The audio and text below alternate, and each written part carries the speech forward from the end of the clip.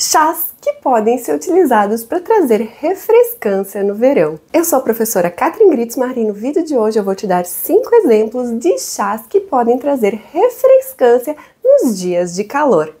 Mas antes disso, não se esquece de se inscrever no canal, ativar o sininho, curtir esse vídeo e compartilhar ele com seus amigos eu ensino você a utilizar as plantas medicinais de forma correta e segura para cuidar da sua saúde e da saúde da sua família.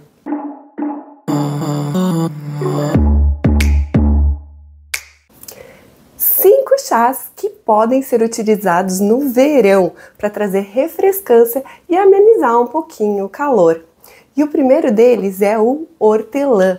O hortelã é um chá que traz muita refrescância e ele pode ser utilizado tanto quente quanto frio, né? E ele vai amenizar os dias de calor, trazendo uma refrescância para o nosso corpo, diminuindo o calor.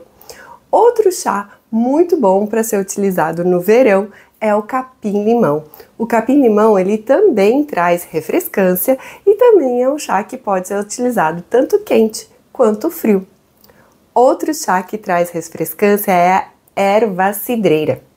A erva cidreira que é a lípia alba, aquela que é de, de, gal, de galinho mais alto, né? Que dá uma florzinha rosinha no meio. Tem gente que chama de sálvia, tem gente que chama, chama de, de, melissa, né? Mas eu vou chamar ela de erva cidreira. O nome científico dela é Lípia alba. É outra planta que traz muita refrescância e pode ser utilizado no verão para diminuir um pouquinho o calor. Outra planta muito refrescante é a melissa, que também tem gente que chama de erva cidreira. É aquela que é parecida com o hortelã, né? Que é a melissa officinalis.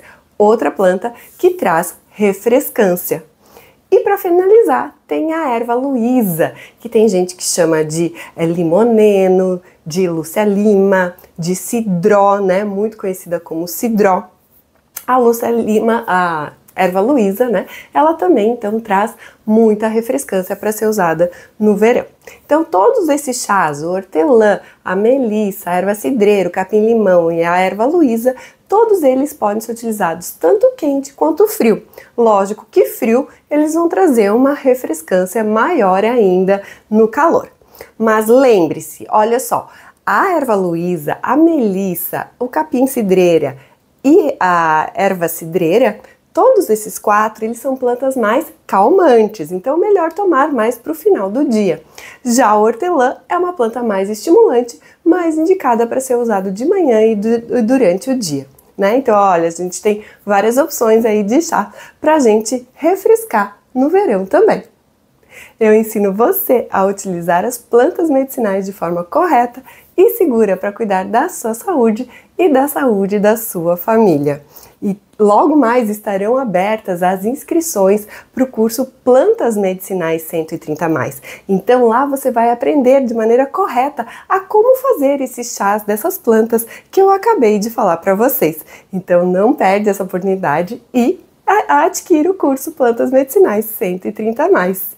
Se você gostou desse vídeo, curte ele, compartilhe ele com seus amigos, mas não se esquece de se inscrever no canal e ativar o sininho.